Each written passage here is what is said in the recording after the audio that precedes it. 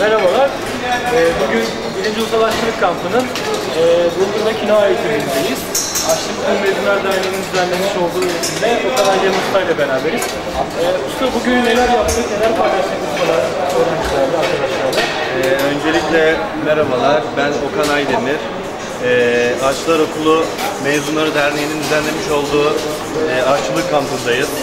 Ee, bugün iki günlü, bugün iki, ikinci günü öğrencilerle e, kinoa ve bulgur üzerine eğitimler verdik. E, onlara bilgiler verdik.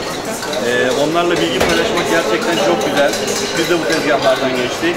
İnşallah onlar da bizler gibi olacaklar. İsterseniz bugün yaptığımız ürünlerden bahsedeyim ben size. E, biz biraz mutfağı da kullandık. E, uluslararası mutfaklar da yaptık burada.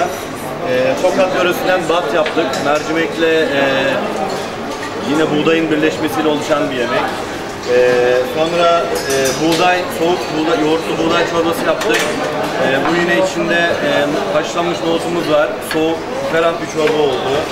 Ee, klasik tabule yaptık. Bu Orta Doğu ve Arap mutfağının e, yeşillik ve buğdayın e, birleşmiş olduğu güzel bir başlangıç olarak öğrencilere bunları paylaştık. Gerçekten bu, bu bilgileri paylaşmak güzel. Teşekkür ederiz. Peki, arkadaşlarımız şu anda ne yapıyor? Ee, onları bir anlatır mıyız? Şöyle Tabii. formal olarak. Tabii. Tabii şu anda e, biz batı hazırladık arkadaşlarla beraber bu soket döresinin yemeğini. E, bu batın e, Tokat'ta yenilme şeklini söyledik biz. Hikayesini anlattık.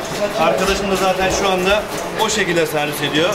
Bunu Tokat'ta e, üzüm yaprağının içine sararak yiyorlar. Biz de o kültürü yaşattık. O kültürde servis ediyoruz. Çok teşekkür ederim. Rica ederim ben teşekkür ederim. Sağ olun.